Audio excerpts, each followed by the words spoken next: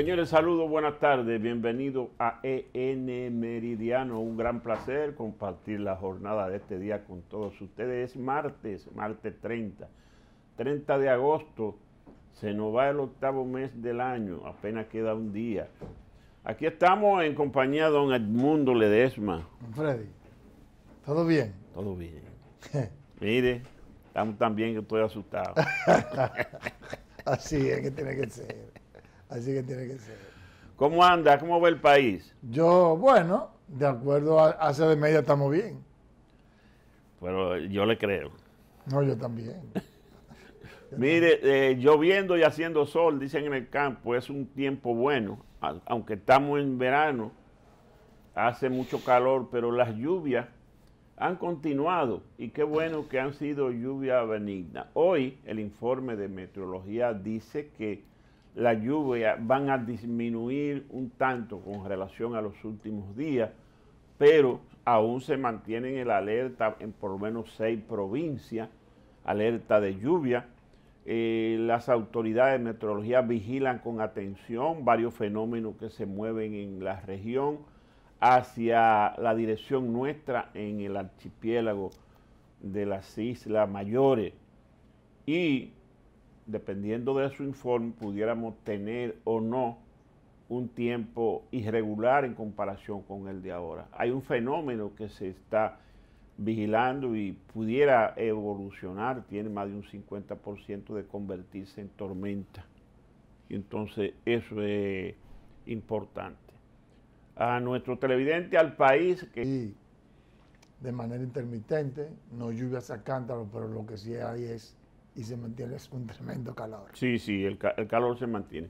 Sobre el informe de la Dirección General de Epidemiología del Ministerio de Salud Pública, tenemos que hoy apenas 216 casos nuevos de contagio en más o menos 1.700 y tantas pruebas, lo que revela una positividad diaria por encima del 20%. La ocupación hospitalaria está baja, apenas 1.6%. Y uno tiene que aún mantener los rigores de el protocolo para evitar el coronavirus, porque siguen habiendo casos. Uno siempre tiene amigos, familiares, vecinos, que está, está cogido con el COVID otra vez. Entonces, el que pueda usar la mascarilla, que la use, el que pueda mantener el rigor del lavado de las manos con frecuencia, también y evitar los grupos, manteniendo una prudente distancia, eh, distancia física y grupal. Eh, eso siempre es recomendable. Sobre la araña marrón, nada se ha sabido que no sea lo que publicó un diario de circulación nacional, pero las autoridades de salud pública han dicho que no registran casos en los 190 hospitales de la red pública de asistencia de salud y que los casos registrados y que publica el periódico Listín Diario eh, ocurrieron en clínicas privadas y no hay registro. Aún así, se mantiene abierta una investigación de técnicos del Ministerio de Salud y, del Ministerio de Medio Ambiente en busca de la araña marrón, que es un insecto desconocido en el país y que de acuerdo a los informes del listín diario es peligroso. Bueno, supuestamente llegó en unas maderas que vinieron desde Brasil. Eh, y lo importante es que las autoridades del Ministerio de Salud no se hagan de la vista gorda, sino que ya que un periódico con tanta credibilidad como el Listín Diario ya ha hecho varias, varios reportajes mostrando evidencias de, de que la araña marrón está mordiendo y de qué manera lo hace. Porque de acuerdo a la declaración que dieron personas que han sido mordidas por esta, este arácnido, pues el dolor es intenso.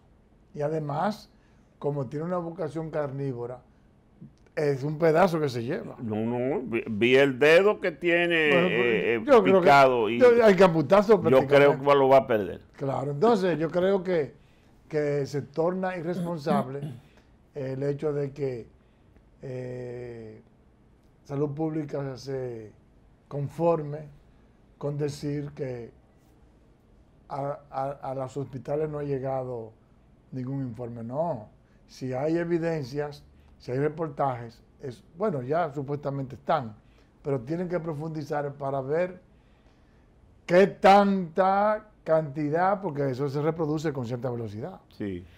Y además de eso, investigar no solamente si está o no está, sino cuál es el origen, cómo llegó ese arácnido al país, esa araña marrón, para entonces poder tomar medidas para evitar que siga llegando. Así es. ¿Verdad? Porque si, llegó, si ahora, porque todo parece indicar como que se está incrementando el intercambio comercial entre Brasil y República Dominicana, ahora por la importación de pollo, la importación de madera y otros rubros, y entonces, ¿verdad?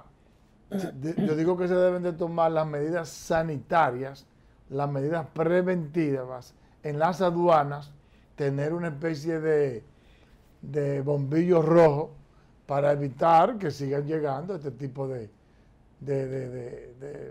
enfermedades, de microbios, de animales, porque por ejemplo, se dice que también por un descuido fue que llegó, llegó la fiebre porcina también. Entonces ya hablamos de dos situaciones que por descuido están provocando, han creado una consecuencia negativa en la República Dominicana una crisis con la, con la carne de cerdo que dejó pérdidas y ahora la gente está siendo afectada con la mordida de la araña marrón. Así es.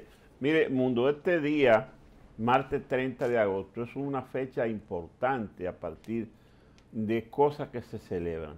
Primero, es el día de Santa Rosa de Lima patrona de la ciudad de la Romana.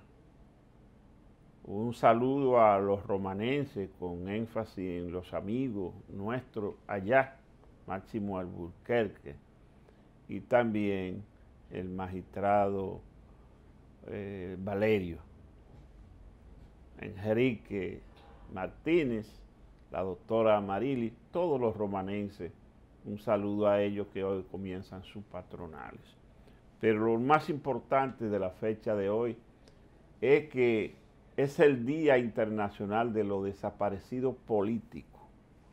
Y eso tiene mucho que ver con cosas que han ocurrido aquí en el país político, como es el caso de lo, más conocido aquí que han desaparecido fueron el, periodista y profesor universitario Narciso González Narcisazo, que se desapareció y nunca se supo de él. Narciso era político por el contenido de su verso, sufrió persecuciones y se desapareció.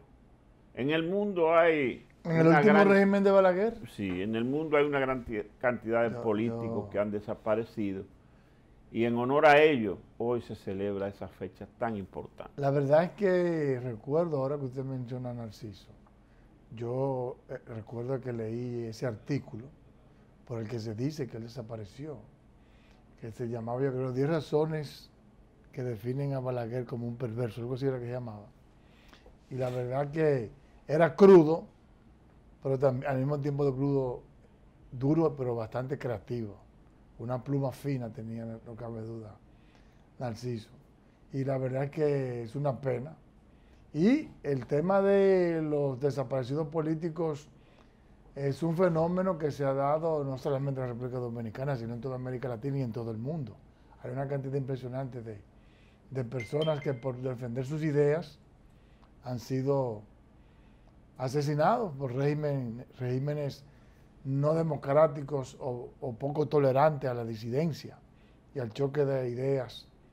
Así que bueno, ciertamente es un, un, aniversario importante de, tomar en cuenta Porque ahora mismo uno puede decir que en la República Dominicana eso no existe ya, la persecución política. Todavía en América Latina sí hay eh, manifestaciones, como por ejemplo en Nicaragua, en Venezuela, y todos estos, países que de una manera u otra se han tirado al centro izquierda, digamos radical, y entonces hay poca tolerancia a la disidencia, al choque de opiniones, a la oposición. Y la verdad es que esas son etapas que deben de ser superadas. Así es. Mire, Edmundo, amable televidente, el grupo de medios de comunicación AC de Media que dirige el periodista Daniel Alcántara mandó a hacer eh, una encuesta nacional de opinión pública que hoy está entregando su primera parte de tres. Hoy toca la parte social, mañana la parte eh, política y la última entrega que es el jueves es la parte de los candidatos potenciales con mira a las elecciones del 2024. En la primera entrega, la de hoy, eh, se miden varias cosas, entre ellas qué percibe la población como los principales problemas eh, de la sociedad. Y aparece en primer plano el alto costo de la vida. En segundo plano, la violencia delincuencial, la inseguridad ciudadana. Y en tercer plano, la decomposición de la economía y como cuarto renglón la corrupción administrativa.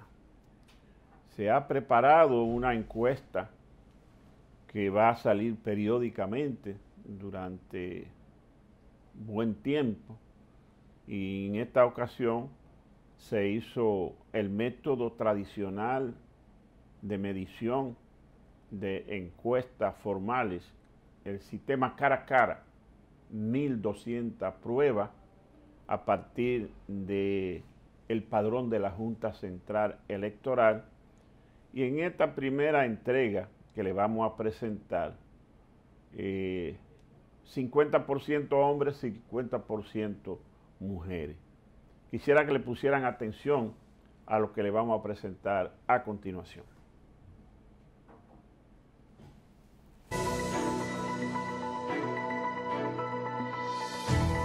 Bueno, a partir de este momento queremos compartir con todo el país, con todo el que nos sintoniza a través de cualquiera de los medios difunden el contenido de ACD Media. Tenemos participación como ACD Media en dos programas de televisión de color visión, hoy mismo y el programa Proceso, hoy mismo que ahora es hoy mismo la Super 7. Queremos en nuestra condición de presidente del grupo de comunicación ACD Medias, Dani Alcántara, presentar a ustedes el grupo de compañeros que tienen la dirección de los medios bajo la responsabilidad de ACD Media y junto con ellos presentar a José Ligio Peralta, que es profesor de maestría de estadística en la Universidad Autónoma de Santo Domingo, con quien vamos a compartir las informaciones que hemos prometido de la primera encuesta nacional de opinión pública que realiza este grupo de comunicación en la que pretendemos medir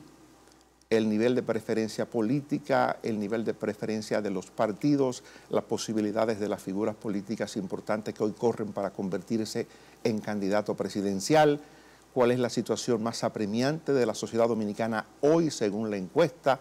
Es decir, que son informaciones útiles, son herramientas básicas para tomar decisiones y para que el país conozca cómo anda el rumbo, cómo una parte del país percibe lo que ocurre en la República Dominicana. Quiero comenzar presentando al equipo que forma parte de ACD Media. Tenemos al señor Alberto Bernabé, que es el director de producción del canal 14 TV.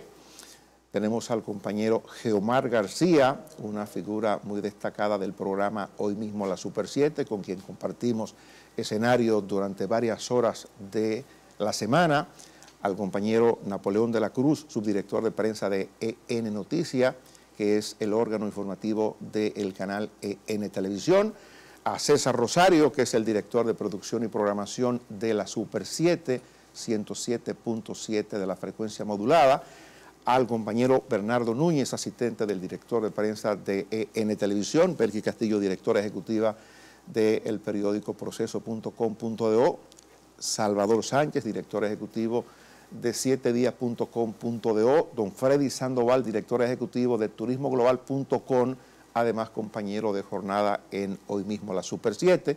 Así es que presentados ellos, testigos de lo que vamos a ver como resultado de esta primera encuesta nacional de opinión pública, queremos compartir las informaciones fundamentales del contenido de la encuesta con un experto, con José Eligio Peralta, que he dicho ya que es profesor de maestría de estadística, es estadístico de profesión en la Universidad Autónoma de Santo Domingo. Así que bienvenido y con usted comenzamos a compartir las informaciones básicas para que la población pueda apreciar el rigor con que se ha llevado a cabo este trabajo. Vamos a ver. Bueno, eh, nos sabrán de presentar ahora en pantalla esa primera parte que vamos a comentar en este momento. Es un, placer compartir con ustedes esta primera eh, encuesta nacional de opinión pública eh, para el periodo 2022 sería hasta que eh, lo demande la situación. Hasta que hagamos una próxima. puede ser en diciembre, puede ser en enero. Exacto, sí. Bueno, eh, lo más importante de estos estudios no son directamente los datos, sino los procesos con los que se consiguen esos datos. De ahí el valor que usted le pueda dar a un resultado de una encuesta política o social, económica.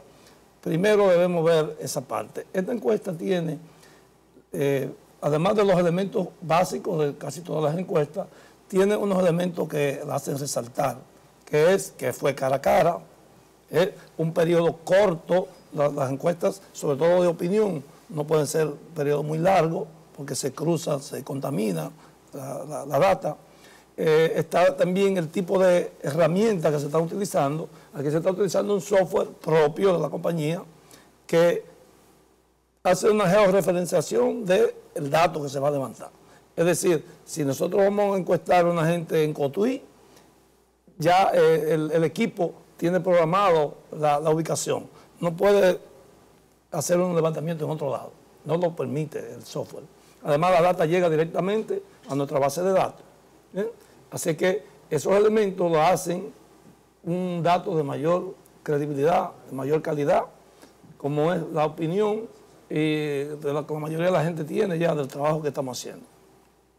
Esto es un primer punto. Ustedes saben que los estudios por muestreo debe ser regularmente una serie de puntos, porque ahí se pueden medir las tendencias de cualquiera, puede ser la propia opinión, de la propio posicionamiento de, candidatura. Entonces, esta encuesta fue hecha eh, en 1.200 unidades, o sea, 1.200 votantes, correspondientes al, al, padrón de las elecciones recién, recién pasadas. A medida que pasa el tiempo, se podrá ir ajustando en la medida que la Junta eh, pueda ir publicando otros datos más recientes, pero todo el marco debe estar eh, sustentado por el, último padrón electoral. 1.200 eh, unidades es una encuesta eh, de máximo tamaño porque se tomó una probabilidad de selección por igual, que es el límite de la encuesta, se llama encuesta óptima, porque da el tamaño más grande posible. Es muy probable que nosotros, con los resultados de esta, podríamos ajustar el tamaño muestral y, puede ser que sea menor. Nunca va a ser mayor que utilizando el 50% de posibilidad de respuesta, porque ese es el pico, lo que se llama la variabilidad en estadística. Vamos a pasar a la segunda página, a ver si nos ayudan los técnicos. Exactamente, adelante. Bueno, aquí, aquí están los elementos fundamentales. Estamos hablando que se trabajó ambos sexos por igual, en este caso, el marco muestral correspondiente al padrón anterior de la Junta, como les expliqué. La muestra es estratificada porque además de tomar el género como estratificación, también se tomaron grupos de edades, claro, votantes de 18 años en adelante. Y también se, dividió el espacio geográfico en los sectores, en, las provincias eh, principales y también el nivel de confianza utilizado es el 95%. Ese PIQ que se refiere a, a lo que le decía, a la proporción por igual que da la, máxima muestra posible. Ya se habló de los instrumentos, un cuestionario estructurado, es decir, que ya de antemano tenía las posibles respuestas colocadas, que sencillamente era codificar eh, en, un equipo electrónico para que alimentar la base de datos con eso. El trabajo de campo estuvo compuesto de 45 encuestadores con 6 supervisores eh, y se hizo en el periodo del día 11 al 14 del presente mes. Eh, el proceso de los datos, de procesamiento, se hizo con, este es el software que le digo que es propio, que fue adquirido por la compañía especialmente para esto, que se llama Super2Go, y el procesador de la data es el paquete estadístico para las ciencias sociales, el SPSS, la última versión, que son de los paquetes de mayor uso eh, a nivel mundial. Entonces, Visto eso, vamos a pasar a conocer entonces el resultado de esta encuesta, que como ha dicho José Eligio Peralta, esa encuesta se realizó del 11 al 14 del mes de agosto que casi termina. Así que vamos a ver, esa es la, estratificación de que hablaba, vamos a ver el resultado sobre la problemática del país. ¿Cuáles son los, ahí está, esa es la distribución de la muestra que ya ha dicho que es 50, 50, 50% hombres, 50% mujeres, de una muestra de 1.200 y esa es la distribución por edad de 18 años en adelante, personas que están todas en el padrón de la Junta Central Electoral. Eh, y esa es ya la estratificación por zona, distribución por la localización, 78.9 en la zona urbana, 21.1 en la zona rural, la zona metropolitana 35%, la zona norte 35.8, la zona sur 17.7, la zona este 11.7. Así es. Entonces, ¿cuáles son los problemas o cómo percibe la, población la situación del país? Eso es la parte primera que vamos a ver. Eh, bueno, esa tiene, está relacionada con la marcha del país hay un 51.8% de la población que está entendiendo que el país marcha por buen camino, un 2.8% que no sabe o no responde y un 45.4% que dice que el país marcha en mal camino. Ese es el resultado con respecto a esa pregunta. Eso que vemos ahí ya es la estratificación, sexo, localización, región y edad de las personas que han opinado al respecto de la pregunta que se le ha formulado. Principales problemas del país. Vamos a ver cómo la población asume los problemas más importantes. El problema más importante en este momento, en la medición del 11 y el 14 de agosto, es el costo de la vida, el costo de la canasta familiar, que es el problema más importante para el 45.2% de la población encuestada. En segundo lugar, la delincuencia y la violencia o robos con 25.8. En tercer lugar, la crisis económica con 8.6. En un cuarto lugar, el desempleo con 6.6. Otro con 4.7. Corrupción 3.3. Costo del servicio energético 2.5. La pobreza 1.2. Salud 0.8. La educación 0.6, ninguno 0.4, no sabe o no responde 0.3, falta de agua potable 0.2.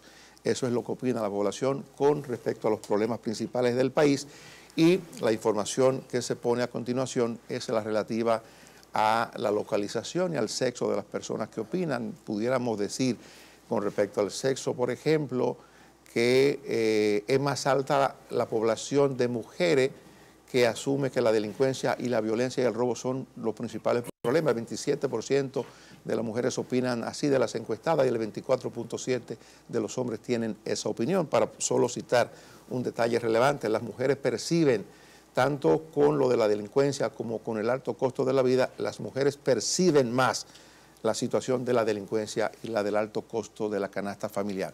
Vamos a ver el, bueno, eso sigue el mismo tema con respecto a la problemática del país. Eh, ahí están las informaciones estadísticas revelando nuevamente la cantidad de, la, muestra de los 1.200 y las edades que se han eh, elegido para hacer el estudio a partir de los 18 años. Vamos a ver la próxima página. Bueno, la próxima página nos remite entonces a las informaciones que habremos de dar en la segunda entrega de esta encuesta nacional de opinión pública, que es lo que vamos a presentar al público, es lo que vamos a compartir con ustedes a partir del próximo miércoles, cuando vamos a hablar de la valoración que tiene la población del gobierno del presidente Luis Rodolfo Abinader Corona, que el 16 de agosto pasado cumplió dos años en el gobierno. Así que eso lo vamos a ver en el día de mañana.